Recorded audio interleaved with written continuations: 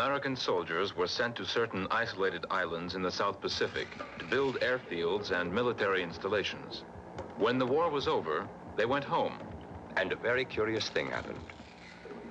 The natives of these islands, isolated from the outside world, lived virtually in the Stone Age until the Americans came and went.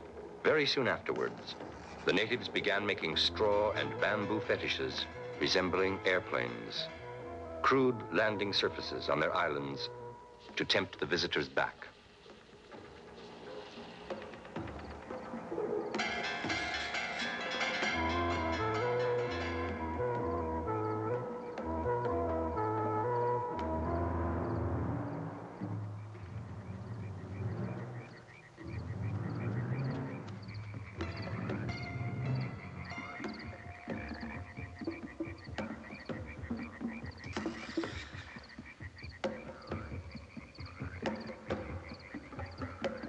The strangers had brought fabulous treasure with them from the skies.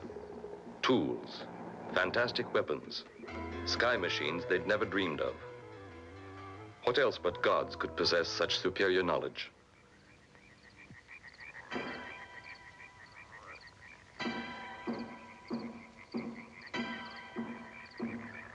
They didn't hunt or fish, yet they never lacked food.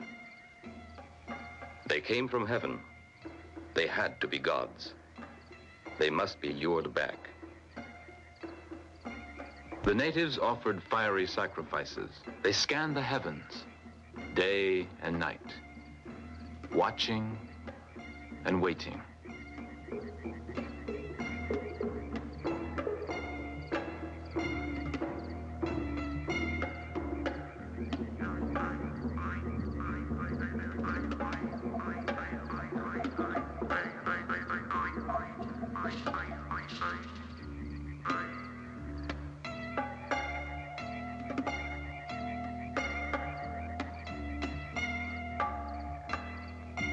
However, the islanders had a new religion.